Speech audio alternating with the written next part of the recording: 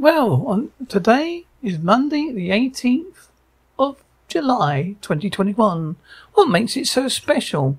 Well, at the moment, the UK is in its first ever red warning for exceptional heat coming into place at midnight. Temperature expected to climb up to 41 centigrade, 105.8 Fahrenheit over the next two days, breaking the country's heat records.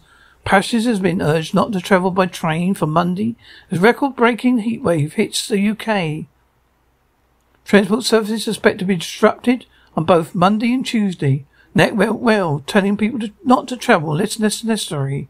Some schools in several countries have been confirmed they will close.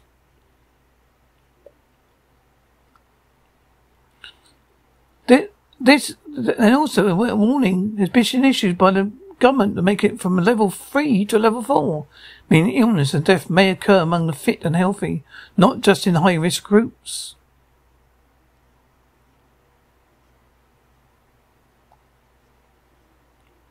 So there you are.